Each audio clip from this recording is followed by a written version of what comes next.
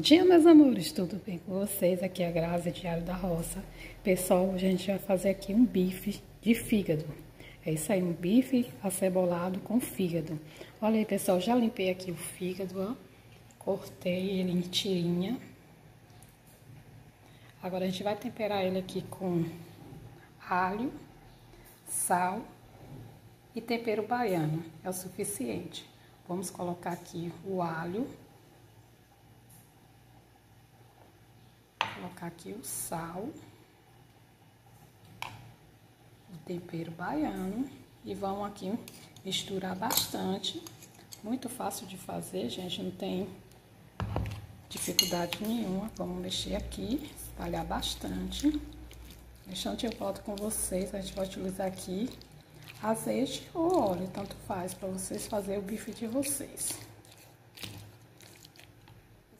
Coloquei todos os temperos aqui, o alho, o sal e o tempero baiano. A gente vai utilizar azeite para fritar, vocês podem utilizar também o óleo, da preferência de vocês. E pessoal, já que misturei tudo aqui, né, o nosso bife aqui de fígado, então eu vou guardar de 15 a 20 minutinhos. Não sei vocês, mas eu sempre, como eu tempero alguma carne, o frango, eu deixo guardar um pouquinho. Eu acho que pega mais gosto tempero. Vou guardar aqui depois eu volto com vocês pra gente vir fazendo, terminar de fazer nosso bife. Muito fácil de fazer, gente. Ah, para quem tem anemia mesmo, esse bife é uma benção, é uma maravilha, né? Aqui em casa, meu menino teve, né? E eu curei ele foi com fígado. Fazia fígado temperado, frito, cebolado, ao molho, uma delícia. Aí, para as criançadas mesmo que não gostam, é só fazer desse jeito aí que eles vão amar. E aí, pessoal, vou utilizar aqui azeite. A panela já está esquentando. A gente vem colocando nossos bifes. Coloco aqui, gente, ó. Essa quantidade é suficiente o acompanhamento do nosso bife, né? Já tô aqui com alface americana. Agora eu vou pegar o tomatezinho aqui para fazer a saladinha. O arroz também vai ser um arroz com cenoura. Uma delícia para quem tá fazendo dieta também, né? Como eu já falei para vocês, esse almoço também é muito bom também para quem tem anemia, gente, ó. Criançada tá com anemia. Conheço até uma amiga minha que ela perguntou, né?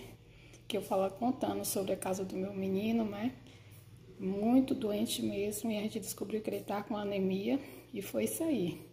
Gente foi fígado que a gente fez para ele, quiabo também é muito bom também, então é uma delícia. Faça aí na casa de vocês que vocês vão amar.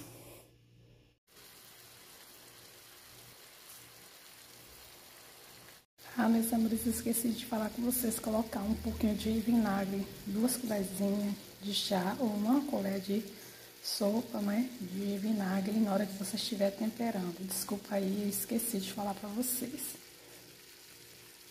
Eu não vou precisar colocar água porque o fígado solta o próprio líquido dele. Restante eu venho, eu vou virar aqui e vou vir colocar aqui a cebola. Aí vai ficar douradinho, gostosinho, máximo. Olha aí, pessoal, já tá no ponto. Eu vou colocar aqui a cebola.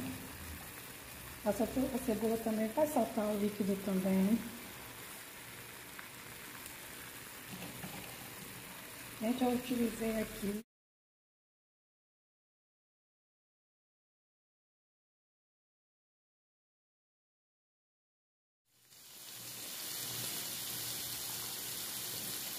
E esse aí foi o vídeo de hoje. Se vocês gostaram, compartilhe, se inscreva no meu canal e até a próxima.